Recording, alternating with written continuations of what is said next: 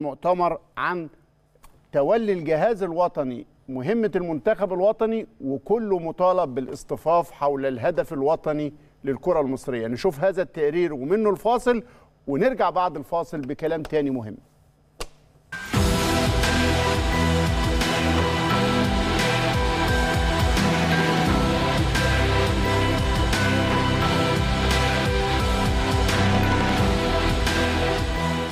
أنا شايف إن خطوة موفقة إن يتولى الإدارة الفنية آه، جهاز فني مصري حاسس بنبض الشعب المصري وعارف اللعيب المصري وعارف إزاي خصوصا لما يكون بنتكلم عن قيمة كبيرة زي كابتن حسام حسن آه، كلاعب وكمدير فني آه، من حقه ومن حقه إن هو يتولى القيادة الفنية وياخد فرصته.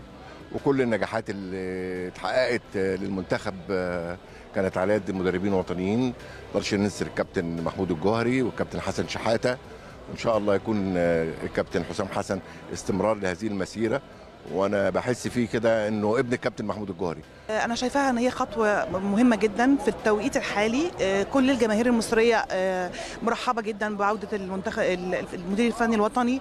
آه، ودي بالنسبة لنا حسستنا بأريحية في التعامل كتير جدا.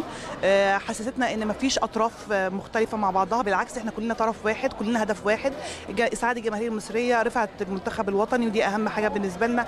عودة الجماهير المصرية تاني هي تلتف حوالين المنتخب الوطني دي كانت حاجة كلنا متأثرين بعدم وجودها الفترة اللي فاتت وشايفينها إن هي أثرت بالسلب على منتخبنا الفترة اللي فاتت. أنا شايفة الفرص كبيرة جدا جدا وإن شاء الله بإذن الله كلنا مساندين لكابتن حسام وكابتن إبراهيم الفترة الجاية كاتحاد مصر لكرة القدم كجماهير مصرية ككمان إعلام إن إحنا نسانده في الفترة اللي جاية. إن شاء الله بإذن الله عودة الإنجازات وال- والتتويج إن شاء الله بإذن الله لمنتخب مصر إن شاء الله. والله هي خطوة طبعا أكيد بالتأكيد إن كابتن حسام وكابتن إبراهيم بالتحديد منتظرينها بقى لهم فترة طويلة. كل يعني حلمهم إن هم يقودوا منتخب مصر آه، في أي وقت من الأوقات. الفرصة جت للتوأم على طبق من ذهب في هذا التوقيت. يعني كان الكل ما كان غير متوقع إن هم يكونوا موجودين في الفترة دي. ولكن هي بقى يعني ربنا هو اللي آه، جاب التوقيت ده بالتحديد عشان يكونوا موجودين فيه عشان تحديين كبار جدا. الاتحاد الأول طبعا. الوصول لكأس العالم مباراتين طبعا اللي هيقاموا في آه، شهر يونيو. وبعد كده هيكون آه، كأس الأمم الأفريقية اللي هتقام في المغرب. يعني الاثنين تحديين صعبين جدا. طبعا مش هتكلم على دورة الإمارات اللي هيشارك فيها منتخب آه، آه، تونس وكرواتيا ونيوزيلندا. لكن آه، لأن دي آه، حس- آه، كابتن حسام هيضم فيها لعيبة يشوف فيها لعيبة جديدة يشوف فيها آه، وجه وجه وجهة نظره الفنية في الاختيارات هتكون عاملة إزاي. هيكون في لعيبة شباب لعيبة منتخب الأولمبي لعيبة منتخب الشباب منتخب 2005 آه، هو هيكون ليه رؤية فيها. هل هيكون المحترفين موجودين ولا لأ في في دورة تونس؟ ده اللي هنعرفه برضو في آه، الفترة الجاية. يعني خلينا نقول آه، على المستوى الشخصي بقى نبتدي إحنا يعني إعلاميين وصحفيين آه لكن إحنا في الأول وفي الآخر جمهور كورة. أنا واحد من الناس كنت آه، بحلم كده إن أشوف حسام حسن على مقعد المدير الفني للمنتخب الوطني.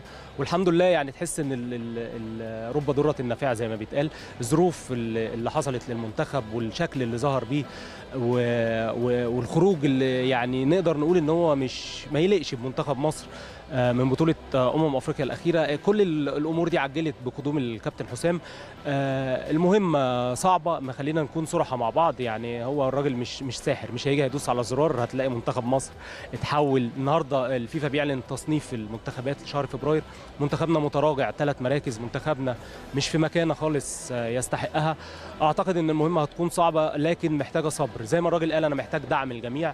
بالفعل آه، لو لو صبرنا على حسام حسن لو آه، ما استعجلناش في إطلاق الأحكام ما وقفناش حاطين المسدسات ورا ظهرنا ومستنيين أي حاجة عشان نضرب الطلقة.